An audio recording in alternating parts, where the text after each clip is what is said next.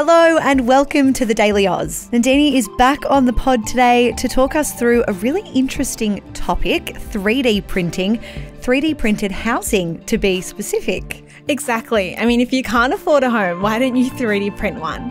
3D printing technology is advancing rapidly, and it means that houses can be built faster, cheaper, and more sustainably. Which got me thinking could 3D printing be the solution to Australia's housing crisis? We'll tell you all about how this works, where it's being done, and what it means for Australia in the deep dive. Nandini, we're chatting about 3D printed housing today, and this all stemmed from a bit of a deep dive that we ended up kind of spiraling into from some news that we saw out of the US, where a company is nearly finished building an entire neighborhood of 3D printed houses in Texas. That's right, 100 houses to be exact, which got me thinking about how 3D printing could be used for social housing. First of all, I wanted to understand more about how it works, but also the broader impacts it could have on construction, sustainability, housing, and costs. Okay, before we dive into some of those bigger picture ideas, how does 3D printing actually work when we're talking about housing. Like I'm kind of imagining an old school printer that I would like print off like colored pictures of like actors from Twilight at home and then get yelled at because I used too much ink. But this is a very different kind of technology, right? Yeah. So if you've seen a 3D printer, you'll know what it looks like and just imagine that on a massive scale. Kind of like these massive cranes that go over the foundations of a home and essentially 3D prints the house. And it's used to print the walls of a home by piping out concrete mixture and it forms these structures kind of looks like icing. And this is often done at a building site. And then once those walls are up, the roof is added in separately.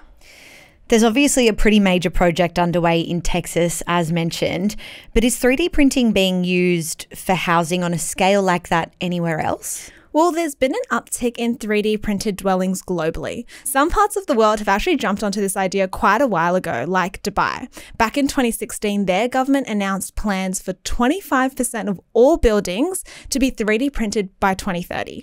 That is a big plan.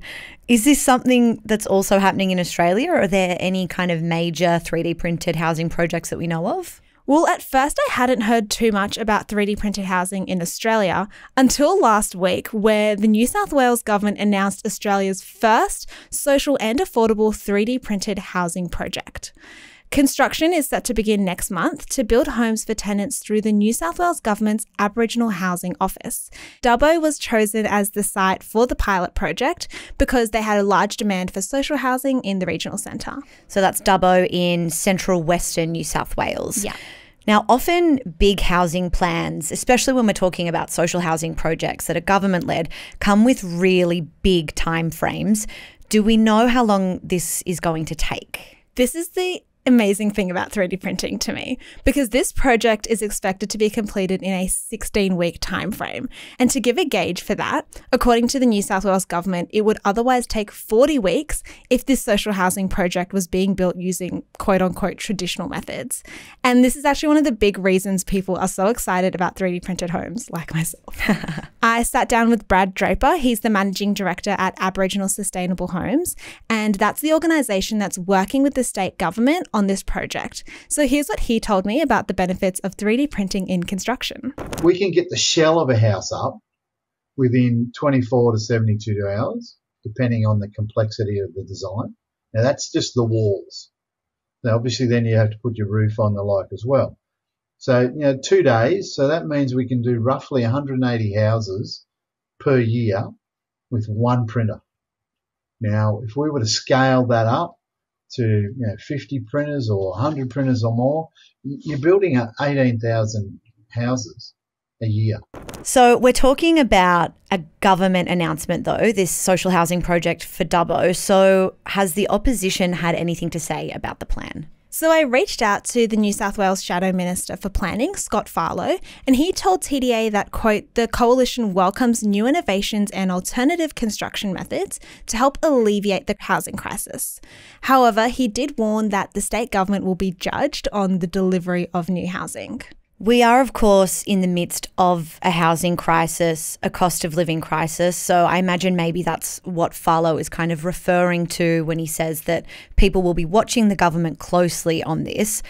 We know that 3D printing technology can build homes quickly, but what do we know about it in the context of kind of those broader social issues? So I talked to Brad Draper from Aboriginal Sustainable Homes about this topic, and he said that the construction industry needs to rethink its current strategies to one, address the housing supply shortage that you've mentioned, but two, to address a skills shortage in the industry. If we continue to do what we're doing at the moment in not changing the technology and sticking with traditional builds of sticks and bricks, as I call it, then we're going to be held to ransom by the shortage of trades within Australia at the moment.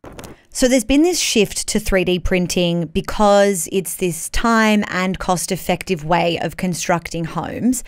But there's also a sustainability aspect to it, isn't there? Yes, so 3D printed homes are actually a lot more energy efficient, especially when it comes to the construction process, because it produces less waste than traditional builds. Brad Draper said that the social housing project in Dubbo will create homes using a mixture that's two and a half times stronger than concrete.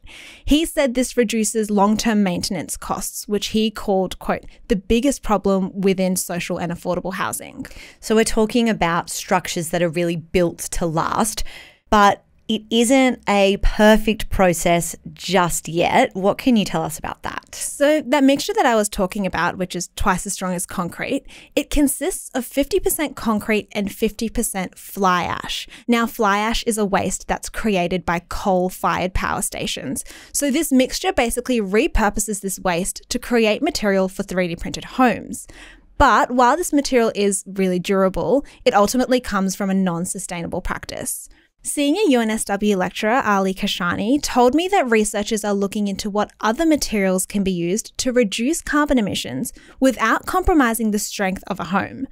Kashani also noted that, quote, in terms of bushfires, 3D printed homes are going to be more resistant compared to wood based products. So, there is a current skills shortage that is being faced by the construction industry. We've heard a bit about it in the news, we've spoken about it at the Daily Aus before this sort of labour shortage.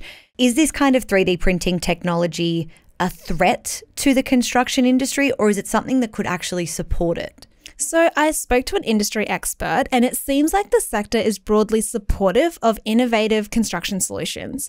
The chief executive of the Housing Industry Association, Simon Croft, told TDA that 3D printing could offer greater efficiencies, and he doesn't see it replacing current jobs, but rather, quote, working alongside them. He said that 3D printing technology would support growth in areas of construction, including social and community housing and emergency accommodation. Okay, so to recap, we've got support from social housing advocates, governments, researchers, and the building industry. Where to next? What do we know about the future of 3D printed homes? Well, one emerging component of this technology that came up in my discussions with a bunch of different people was prefabrication. So think of it as an IKEA flat pack. Prefabrication involves building parts of a home with a 3D printer in a warehouse. Those parts are then transported to the location and pieced together at the venue. This can include roofs and stairs, and there's some excitement about what this could mean for the mass production of homes as well as the affordability component. So, like, we're talking about a ready to install flat pack home kit. Exactly. And one other thing I wanted to mention that Ali Kashani from UNSW told me about was design. And he talked about how architects actually love working on 3D printed homes because of the design possibilities that it provides. If you look up pictures and footage of the process, you'll see what I mean. But 3D printed homes just look so futuristic. You see these curved walls and bumpy textures on the walls, and the way that the concrete mixture is piped out creates a really beautiful design. Yeah, I was really surprised. Some of these homes look like high end luxury architecture. And it sounds like that could soon become the norm. So I look forward to our beautiful luxury high end homes, Nandini. It sounds like this is only the beginning for 3D printing in construction, though. So thank you so much for taking us through such an interesting topic. Of course, I never thought I could get so excited about concrete. you and me both. Nandini has produced a really interesting video carousel on this topic as well. So if you want to hear more from the experts mentioned throughout the podcast, and if you want to get a better understanding of what it all looks looks like and check out how cool they look for yourselves, we will pop a link to that in the show notes. Thank you so much for listening to the Daily Aus. If you enjoyed today's episode, please share it with a friend. Don't forget to follow or subscribe wherever you listen or if you're watching us on YouTube. We will be back with another episode tomorrow. Until then, have a great day.